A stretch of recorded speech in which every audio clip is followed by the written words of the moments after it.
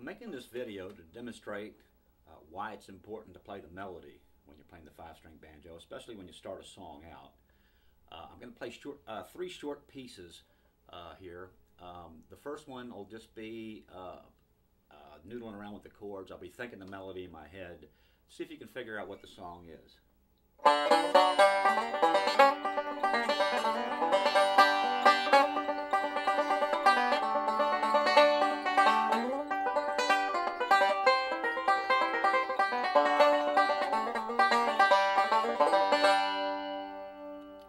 Okay, now I'm going to play the same piece again, only this time I'm only going to play the melody.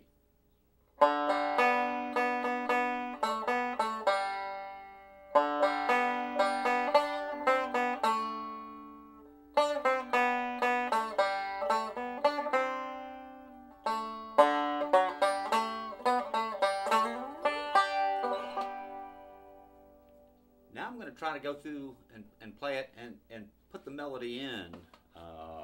Play mostly the melody. It's going to be a pretty simple version if I can get through it here.